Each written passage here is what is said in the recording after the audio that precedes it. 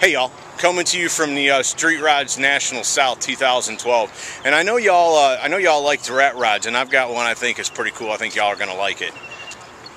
Jody, how are you, brother? I'm doing good. Good. Tell me a little bit about your hot rod. Well, this is a 1942 Ford truck that I took the original body off of and made a brand new locomotive style body for it. Cool. Have you always been into trains? Well, not really. I came up with this concept about 25 years ago when I drew it out on a piece of paper, and it's just been sitting on the shelf waiting to get built. Right. How long has it been done? I built it about a year and a half ago. I had it up here at this show last year. Right. Tell me, uh, tell me what. I mean, obviously, it's got a. It looks like a, a locomotive in the front, and it's got a spittoon there, I guess, for the uh, for the top and train bars. But tell me, uh, tell me some other features about the car. Well, I've got a, like I said, 42 Ford truck frame underneath it. It's running a uh, 90 model Corvette 350 automatic. Front and rear suspension came from a 64 Ford three-quarter ton. I put on ton wheels to give it a button look. Right. The hardest part about it was finding all the train axle accessories for it, like the uh, bed rails are made from the train spike pullers. Oh yeah, how cool is that? And then you use the uh, The spikes to the hold spikes up. to hold it up. The Wow. spikes on the door handles. Wow, how cool is that? Then the actual spike driving hammers I use for rear bumpers. Man, that's very creative, brother. The two red tail lights are actually uh, caboose lanterns, Right. Converted to power. Right. So they're not. They're uh, they're just like a tail light now. Yeah, They- tail okay, now. They don't, cool. they don't burn gas or whatever. Yeah, yeah. What about the rivets? Is that is that the way it was, or did No, yeah? the whole body's hand built. There's over 500 of the rivets put in. Wow. All the body is brand new, and I distressed it and uh, painted it to where it would look like it's rusty. Have you always been into rat rods? No, I usually build street rods. Now I've always had a car that I brought put right here on this spot every year.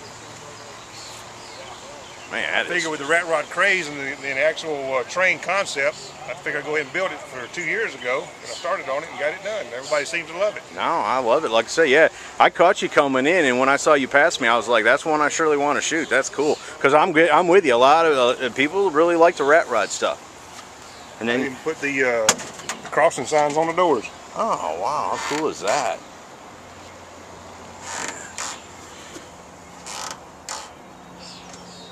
Now it's got a train horn. Is that really train a train horn, horn? fully functional.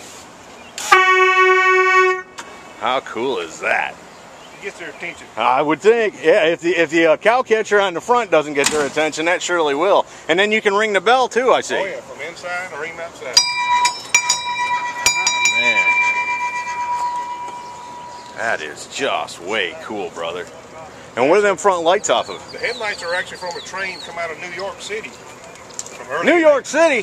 from early 1900s, what the guy was telling me. No kidding. So would you go to you go to swap meets and all and collect all this stuff up? Most of the actual parts of the train came from off eBay. Oh, no kidding.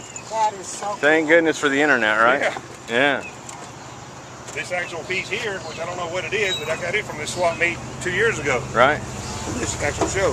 Is it off a train? I don't have You any don't idea. even know. I Just kind of looks like it might have been on a train.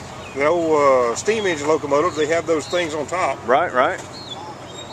Man. And then these little lanterns here. Those are actually toy lanterns for for kids. Oh, And wow. I converted it over to electric for the car. Wow. How cool is that? And what the shroud for the fan? What's that? Some sort of 60 model Chevrolet is what the guy was telling me. Kind of looks like some kind of a farm barrel or something. Right. You know, one of them things they feed cows out of. A piece of that. Huh. That is just cool, my friend. I got the uh, exhaust pipe off eBay. The guy, I emailed him. I said, "How bad are they rusted?" He said, "Oh, they're not that bad." I said, "Well, then I, I emailed him back and said I can't use them. I need some rusted ones." He emailed me back. He said, "They're pretty bad." I said, "Well, then I need them." That's right. Six driver uh, Mustang, 66 yeah, they sure are. I recognize those. Wow. The whole body from the hood back was uh, custom made. The hood is actually 155, 150 diesel uh, gallon diesel drum. Oh, okay. Brother, that is just way cool, man. Very nice job. I like how you incorporated the whole theme in it. Anything else you want to tell me before we go? Well, I think that's about it.